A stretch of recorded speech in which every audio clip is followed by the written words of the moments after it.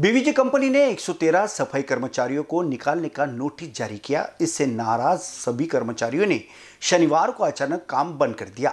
इससे नागरिकों को काफ़ी परेशानियों का सामना करना पड़ रहा है।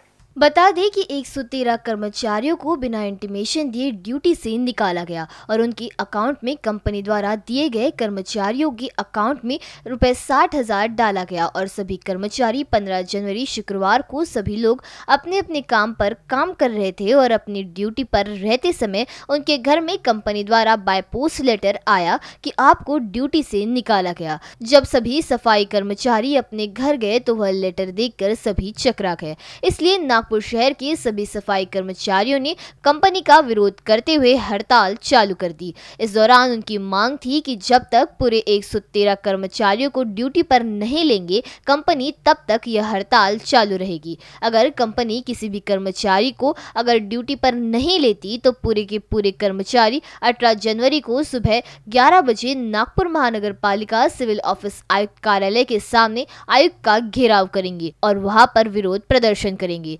जब तक 113 कर्मचारियों को ड्यूटी पर नहीं लिया जाएगा, तब तक यह हड़ताल चालू रहेगी। कैमरा पर्सन राजकुमार मोहर के साथ दिशा हटवार बीसी न्यूज़ नागपुर।